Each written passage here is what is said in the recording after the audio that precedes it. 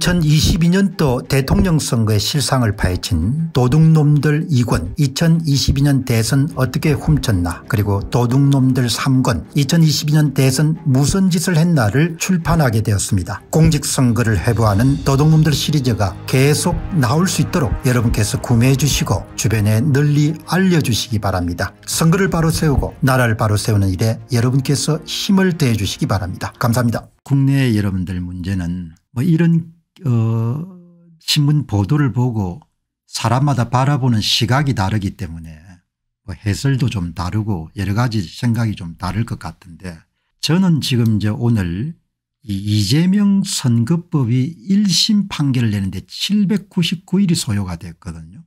그래도 뭐 선거법 위반보다도 대법원에서 선거법을 다룬 것보다도 더 시간은 짧네요.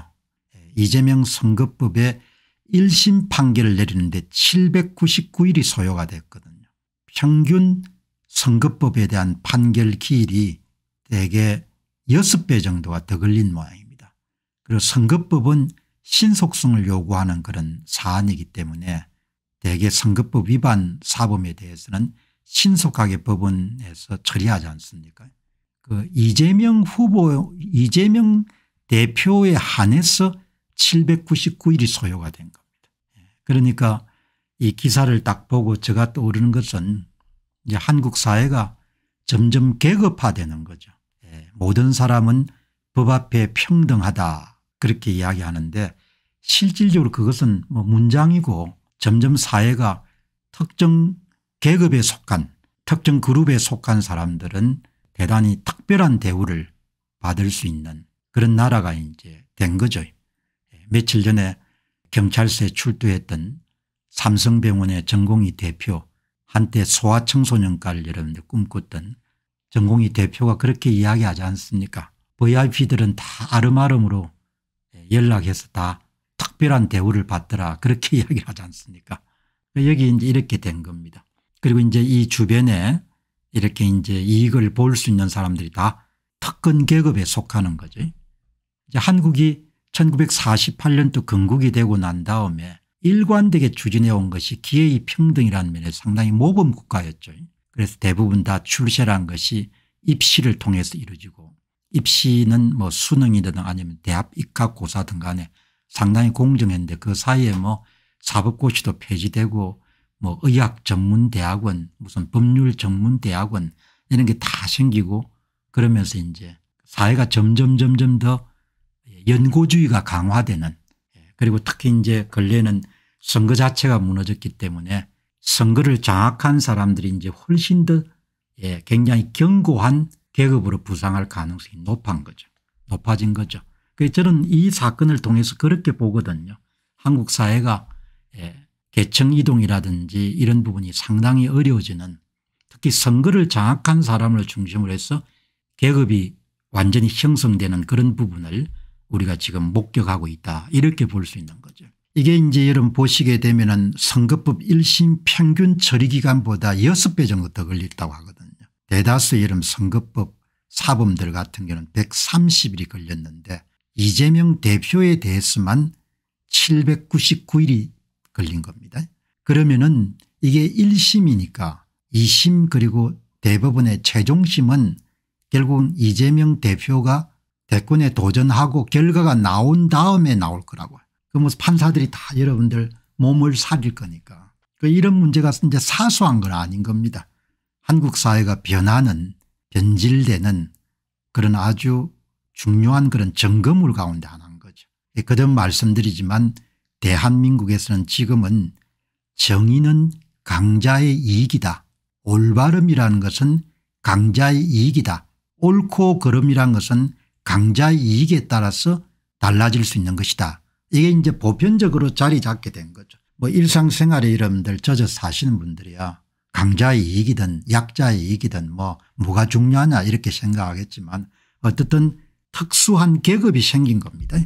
계급이 생기기 때문에 이제 그 계급 하에 살아가야 되는 겁니다. 자식들하고 뭐 재판 지연 우려가 현실화되는데 이게 이제 21대 대통령 선거가 2027년 3월 3일이니까 뭐 제가 예상컨대는 대법원 최종심이 이 뒤에 나올 겁니다. 그러니까 이재명 당대표가 무난하게 더불어민주당의 당권을 장악한 상태 대권 후보가 돼 가지고 대통령이 되겠죠. 뭐. 대통령이 되고 그 다음에 이제 대법관들이 판결을 내리겠죠. 예, 이렇게 지금 돌아가는 겁니다. 예, 그러니까 뭐 좀 암울하지만 현실적으로 그렇게 돌아간다. 방송 중에 여러분들 가끔 댓글 남기신 분들이 그렇게 여러분들 체념적인 이야기를 하면 어떻게 하냐. 그럼 체념적인 이야기를 안 하면 거짓말 해야 되지 않습니까 거짓말을 내가 할 수가 없으니까 내가 예상하는 대로 전망하는 대로 보면은 예, 이 판결은 대통령 선거가 끝나고 난 다음에 판결이 나올 거다 이렇게 보는 거죠. 그렇게 여러분들 어, 정리를 하게 대통령 판결 전에 나오면 은 이재명 대표가 피선거권을 잃겠죠. 입법부의 이 후보로 나오는 예, 그런 결과는 뭐 이 사람들이 만들지 않을 것이다. 그렇게 보는 것이고 뭐 여러분이 다 보셨다시피 대한민국의 검사와 판사들이 얼마나 눈치를 잘 보는지 보셨지 않습니까 저는 바닷가에서 났기 때문에 그렇게 눈치를 잘 보는 것은 물고기에 비유하면 도다리나 광어 같습니다. 예, 도다리나 광어가 이런 눈이 크고 양쪽으로 다 볼 수 있지 않습니까 그러니까 대한민국 검사들도 다 마찬가지고 대한민국의 판사들도 다 마찬가지인 겁니다. 예, 좌우로 이렇게 열심히 보면서 뭉개고 뭐 이렇게 해가지고 끝까지 갈 수 있지 않겠느냐 그렇게 보는 겁니다. 아름아름으로 다 돌아가는 겁니다. 아름아름으로 다 돌아가고 뭐 병원에 여러분들 예약하는 것도 다 아름아름으로 해가 여러분들 전화해서 예약받고 뭐 다음에는 검사도 마찬가지고 뭐 수사도 마찬가지고 판결도 다 마찬가지겠죠.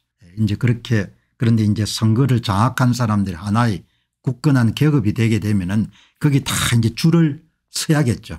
줄을 못 선 사람들은 박해를 당하거나 아니면 나라를 떠나거나 그렇게 안 되겠습니까 그렇게 보시면 좋겠습니다.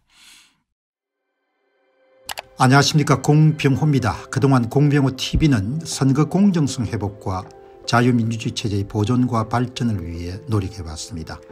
이런 노력들이 지속될 수 있도록 공병호 tv의 전기 후원 프로그램이자 멤버십 프로그램을 소개해드립니다. 뜻 있는 분들의 관심과 동참을 부탁드립니다. 선거 공정성 회복을 위한 노력을 지지하시고 훌륭한 나라 만들기에 동참하시는 시청자분들이시라면 구독 버튼 바로 옆에 있는 가입 버튼을 통해서 정기 후원 프로그램에 가입할 수 있습니다. 가입 버튼을 누르시면 공병호TV의 후원자가 되시게 됩니다. 여러분의 후원이 선거 공정성 회복을 위한 노력에 힘을 더할 수 있을 뿐만 아니라 자유민주주의 체제의 수호를 그리고 발전을 통해 여러분과 후손들의 삶에 빛과 소금이 될 것입니다. 특히 그동안 공병호TV는 선거 공정성 회복을 위한 노력 과정에서 채널 성장에 제약이 가해지는 불이익을 감수해왔고 지금도 그런 불이익이 계속되고 있습니다. 그럼에도 불구하고 너무나 중대한 문제이기 때문에 공병호TV의 노력은 계속될 것입니다. 여러분의 깊은 관심을 부탁드립니다. 감사합니다.